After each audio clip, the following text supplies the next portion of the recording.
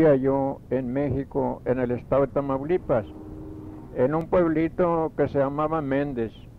Esa vida era completamente rústica, vida de rancho, cocinando a pura leña y agua de un río llamado el río de Conchos. Pura vida de campo. Del 25 de julio de 1918 para acá he vivido en Texas, primeramente en el valle, o sea, a orillas del río Bravo o Río Grande, así le nombrábamos y hasta la fecha así se llama. En esos años la vida de este lado, en la frontera con México, la encontré yo muy parecida a la de México, con la diferencia de que de este lado había mucho trabajo de desenraíce, es decir, arreglando tierras para la agricultura, cosa que al otro lado no había de ningún trabajo,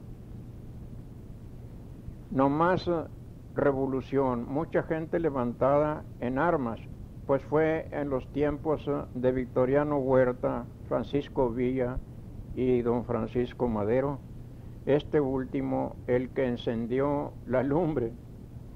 La gente en la región no estaba tan civilizada como en la actualidad, pues eh, en más de 800 hombres que trabajaban en las raíces, o sea, abriendo tierra para la agricultura, yo era el único que sabía cuadrar tierra, es decir, sacar la cantidad que daba de dinero, pues de toda aquella gente, nadie sabía hacer esos problemas, no tenían escuela.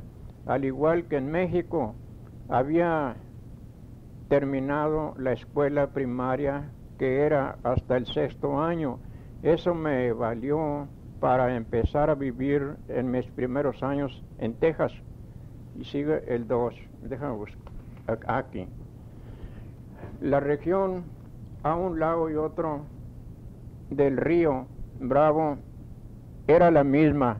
En México se sembraba con yuntas de bueyes y también aquí en la frontera con México, con la diferencia de que aquí ya había uno que otro tractor, pero sí muchos tiros de mulas. Se notaba mucho más el progreso de este lado que en México y hasta la fecha así es.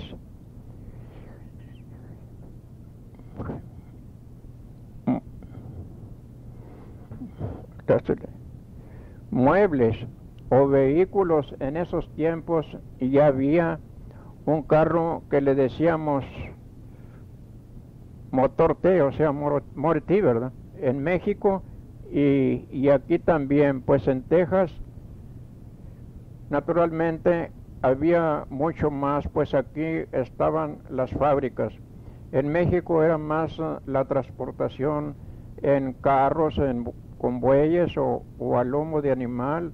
También se hacía mucha transportación en el tren, en el ferrocarril, en las eh, ciudades como Monterrey, ya había transportación en los tranvías.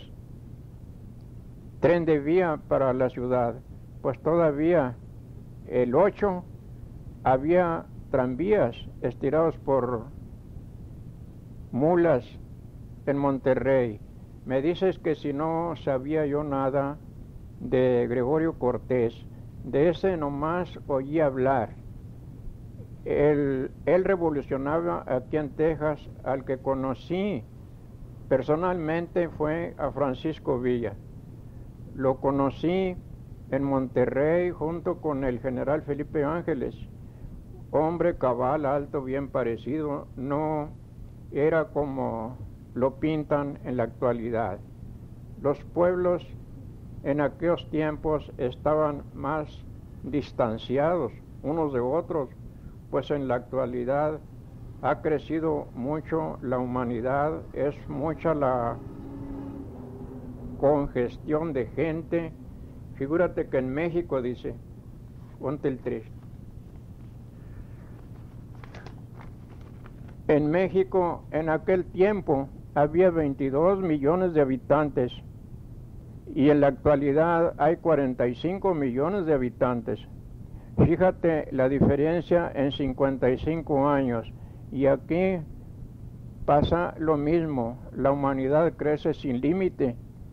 Me dices que si conocí a bandidos famosos, seguro que conocí, pero sería muy largo poderlos eh, describir como eran, pues únicamente atacaban pueblos para robar y eso todavía es costumbre en los tiempos actuales. Los cambios en la vida actual con la vida pasada es completamente diferente.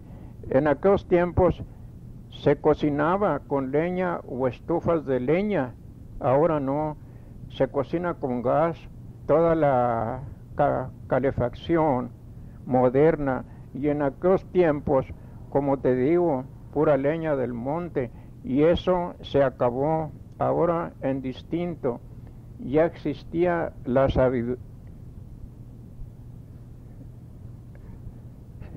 La civilización, como no, pero ahora está mucho más desarrollada. Hemos llegado a la era del espacio.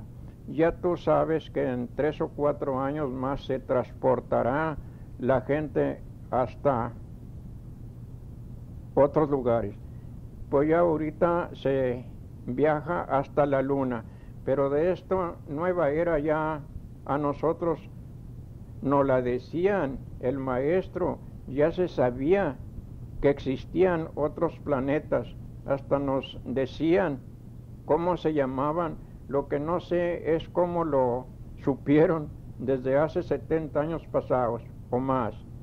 También me tocó pasar una depresión aquí en Texas que fue en el año de 1930 31 y 32 y el 33 y el 34 hasta el año del 35 empezó a cambiar el tiempo. El presidente de aquí, ¿dónde está el 4? Empezó a implantar el seguro social, que por cierto los ricos no lo querían, pero así se hizo en esos años de la depresión,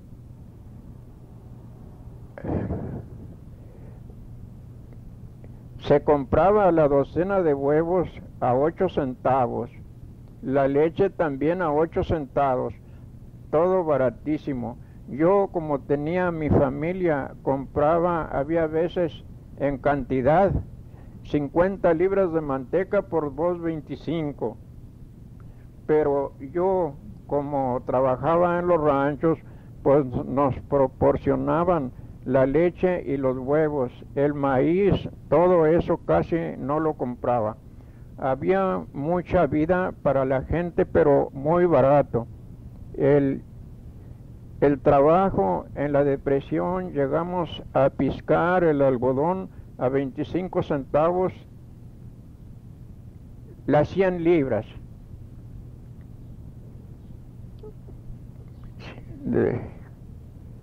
5 centavos las 100 libras, sí, de algodón. Cuando la guerra del 18, es decir, ese año terminó, alcancé un registro, yo creo fue el último, pero yo no fui porque era de México y en esta última no fui porque ya tenía mucha edad. Nomás fueron Antonio y José Armando no fue. En la guerra pasada, o sea, de 1918, México quedó neutral. En la segunda, en la segunda guerra,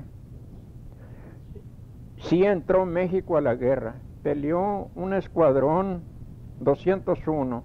Me preguntas por epidemias. Me tocó ver tres muy bárbaras. La fiebre amarilla. Le decían, fue como el año de 1904. Tenía yo como 8 o 10 años. quedaban los pueblos sin gente, en los ranchos quedaban solos, toda la gente se moría, sobrevivía, sobrevivía poca. Yo fui uno de los que sobre, ya sabes, hijita, que cosa mala nunca muere, así le así le puse. también me tocó pasar la epidemia que le decían influencia española. No sé por qué le llamaban así. Esa epidemia fue como en los últimos de julio o a principios de agosto de 1918. Esa enfermedad también acabó mucha gente en tres o cuatro semanas que duró. En Monterrey me tocó ver una inundación, abarcó como tres millas de largo, como por una de ancho y estaba muy poblado hasta una iglesia donde se había refugiado la gente, se la llevó el río a pedazos con todo y curitas. En esa inundación se ahogó, miles de gente.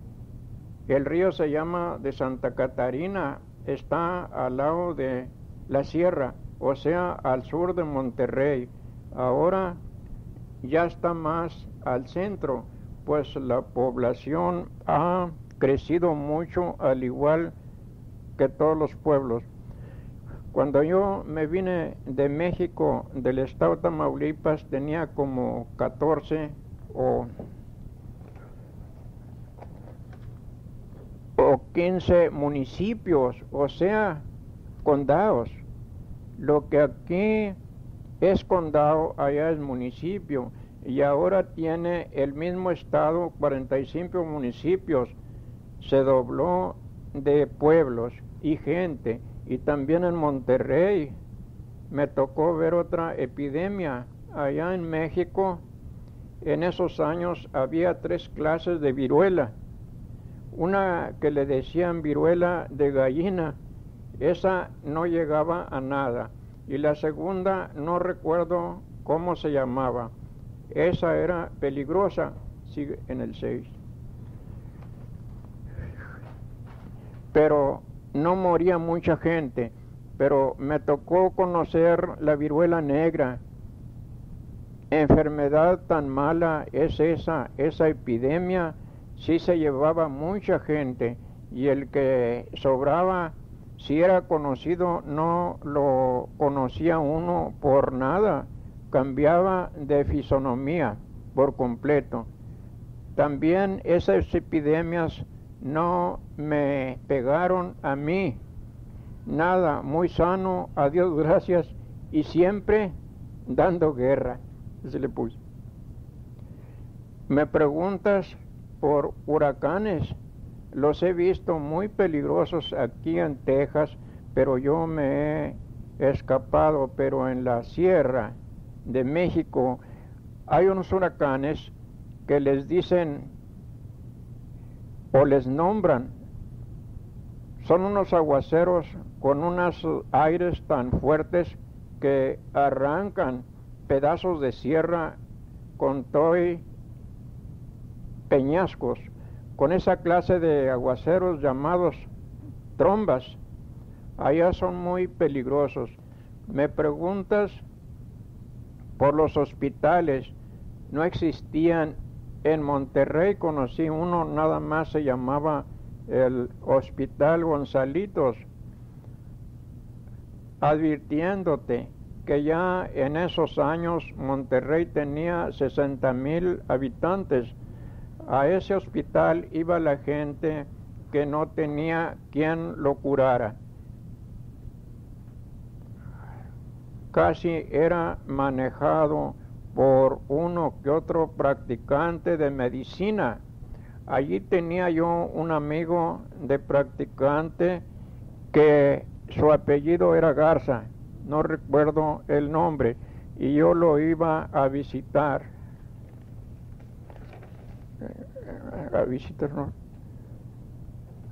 Él curaba. A ver.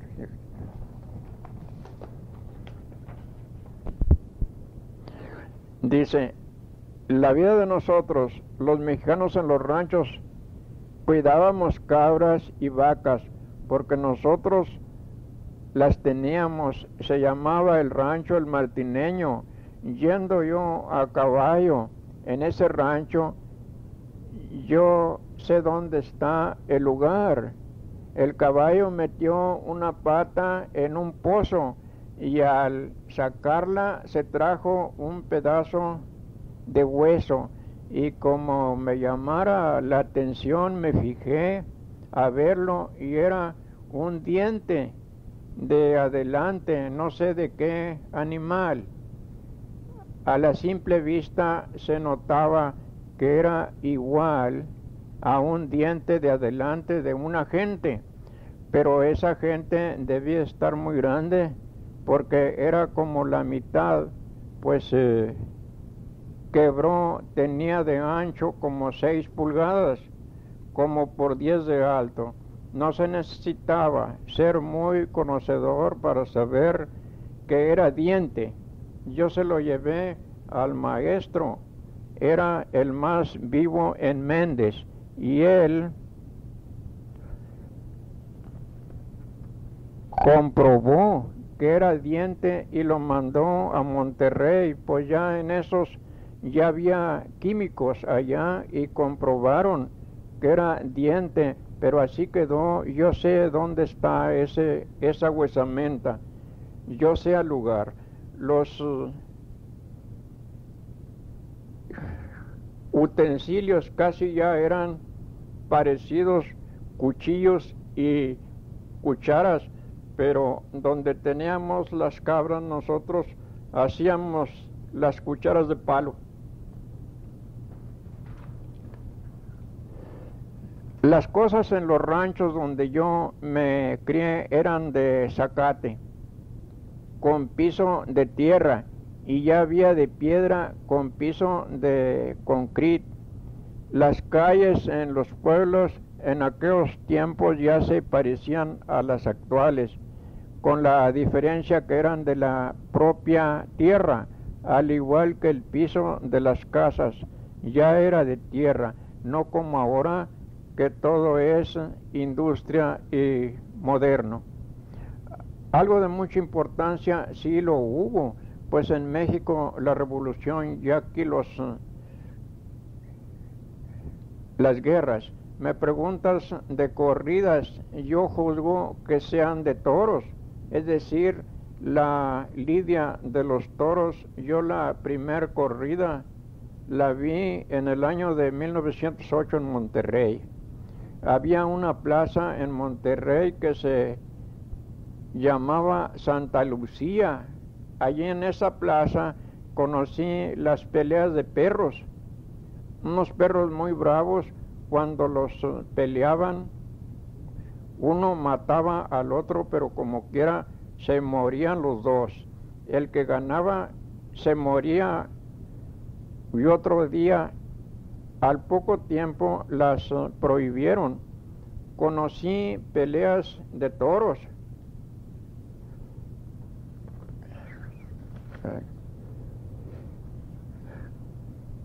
Con leones y los eh, peleas de gallos, esas todavía existen. Yo te llevé a ti a una plaza de toros en Nuevo Laredo y a Dalia también. Yo sé que no les gustó porque ya no volvieron a decirme que las llevara.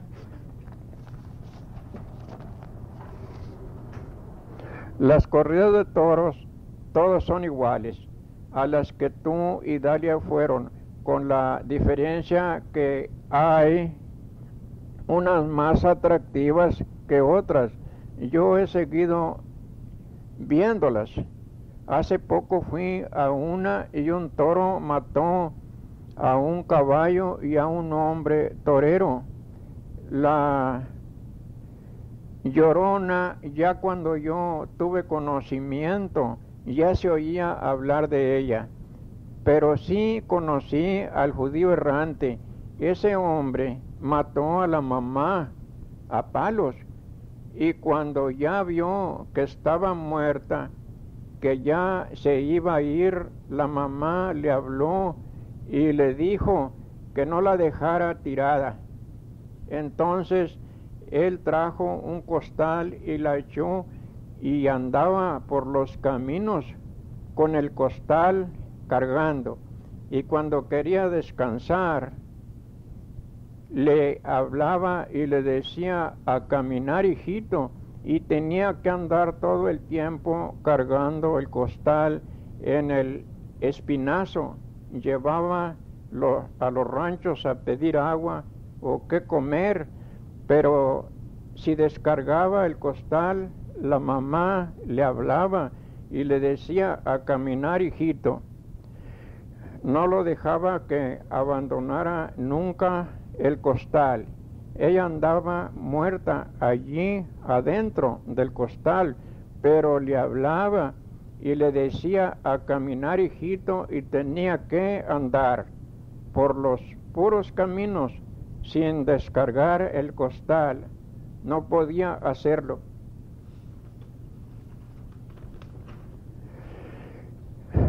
Las comidas en aquellos años eran leche de vaca o de cabra, carne asada o en barbacoa. La carne se asaba en asador o en parrillas afuera, al igual que la barbacoa. Esa se asaba en un pozo, se enterraba en la noche y se sacaba otro día. De mi pueblo que se llama Méndez. A 30 millas de allí hay otro pueblo que se llama Burgos. De Méndez a Burgos hay 10 leguas. A mí se me hace que son 30 millas. Según entiendo, los caminos en esos años muy despoblados y para ir y venir el mismo día tenía que ser el caballo muy bueno porque se podía cansar. Había veces que iba uno, hermano mío, que se llamaba Ruperto, y otras veces iba yo. Él me había platicado que una noche, pasando por un rancho que hacía años estaba solo, había oído unos gritos muy feos, tan feos que hasta el caballo se asustó y arrancó tan ligero que casi ya mero lo tumbaba. Yo no hice mucho aprecio, él ya sabía que yo tenía que ir en el otro viaje, como así fue. Se llegó la fecha, pues nomás eran unas dos o tres semanas y tuve que ir yo. Estaba en la creencia que el caballo que llevaba hacía la vuelta y como yo salí tarde, pronto escureció y el caballo le noté que empezaba a cansarse. Cuando un caballo se quiere cansar, empieza a tropezarse. Y por eso me di cuenta que el animal se iba a cansar y para mi mala suerte se paró de a tiro en ese rancho abandonado en el que mi hermano me había dicho de los gritos, pues allá en esos lugares solo cargaba uno arma y yo traía carabina y bien lista, pues eh, no, hijita, estaba allí hasta medianoche, que el caballo descansó y no oí nada, ningún ruido nomás las puras linternas. Había muchas, casi hasta me alumbraban. Así les dicen a unos animales chiquitos que vuelan y dan luz, pero allí eso había muchas linternas, pero yo no oí ni vi nada y me, me tocó sí oír en la noche algo desconocido pero a mí nunca me pasó nada. Sigue el, el